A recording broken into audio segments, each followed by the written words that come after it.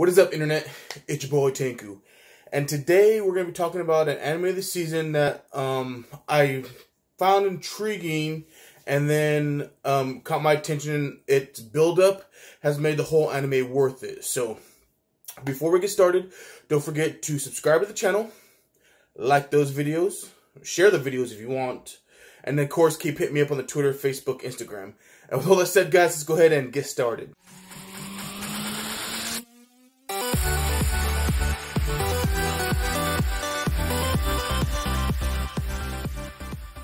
Okay, so today we're going to be talking about an anime called uh, Deca-Dence. Um, and it was pretty intriguing when I read the synopsis, so I decided to give it a a view. And the anime revolves around this girl, uh, Natsume.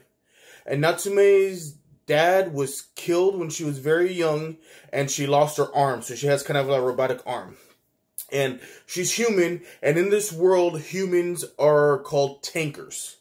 Um, they're considered very weak. Apparently there's a lot of aliens on this world. The tankers are some of the weakest of the races if you will. And all of humanity all of the aliens everything lives in this big a technodrome looking thing called Deca-Dence. And um, basically what you find out is the world is a wasteland and there's these monsters called the Gondol, I believe is how you pronounce that. While there's people that maintain Deca-Dence and repair it and the infrastructure inside of there, there's jobs that everybody gets assigned. Um, and once you get assigned a job, that's your job for life. And then there are the um, hunters, which are comprised of mainly alien species that go out and hunt the gondol for their blood because they use the the blood or the alien juices of these creatures to fuel the Deca-Dence and uh, you know use it for pretty much everything in there and the meat they use the meat they eat the meat things like that everything then it's consumed. So there's like this whole infrastructure for this giant roaming thing.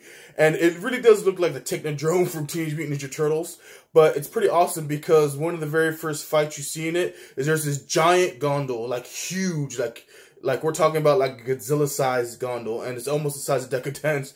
And Deca-Dence transforms into a mega fist and just punches it to kill it. So it's pretty cool, from what I think. And then um, just that part alone, I was like, all right, cool. You know, it's worth the watch. To, you know, going on. Um, but and this is revealed very quickly, so it's not necessarily spoiler. It's because that's not what, what the main thing is about. You find out that this whole thing is a game world for um, robots slash um, you know hybrids, androids type stuff. So um, and then you find out how these androids came to be, which is pretty intriguing. And then pretty much you find out that these androids control avatars, which is are the, all the alien races you see, and even some tankers, and everything is marked. Um, in the course, the humans don't really get used as avatars because they're considered the weakest among everything, but they have chips inside of them, and this whole thing is a big computer system controlled thing. It's really interesting. And that's when you meet uh, Kaburagi. Um, Kaburagi is a android that finds Natsume and decides he's going to train her to be a hunter because that's what her goal is. She wants to be a hunter. She don't care what job she gets assigned. Uh, being a hunter is her dream. She wants to change the world while at the same time trying to protect her from the reality and the truth of what this world actually is.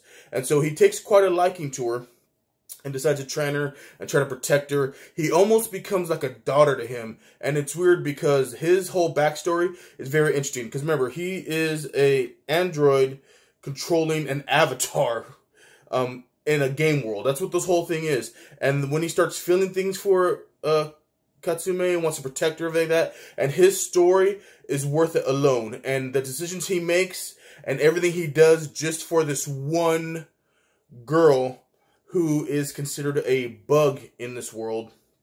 It's it's amazing.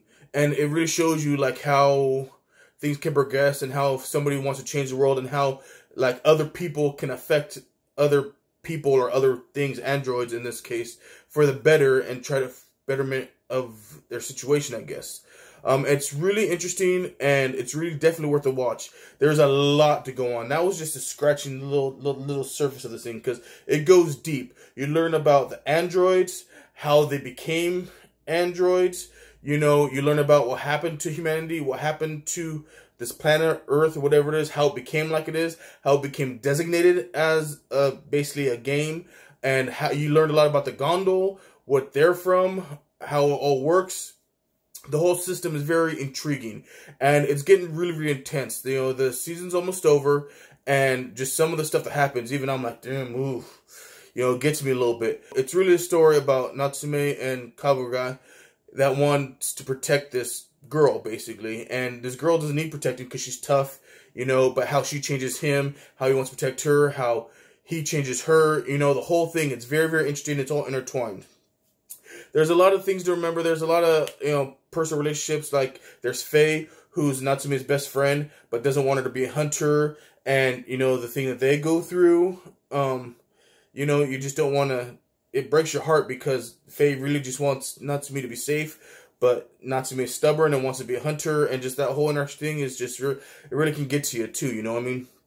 So, it's definitely worth the watch, guys. It is definitely not like uh, other animes right now. It breaks the mold as far as that goes with the androids, the game world, you know, humans being what they are. They're all stuck in this technodrome looking mortal engines thing. The Gondol, which are the monsters of this world. The system, which controls this game and Deca-Dence, everything like that. And of course, all these androids are, are part of these in these avatars will play in this game or work in this world together, the events that happen, things like that. It's very intriguing. I definitely recommend people watch it, check it out.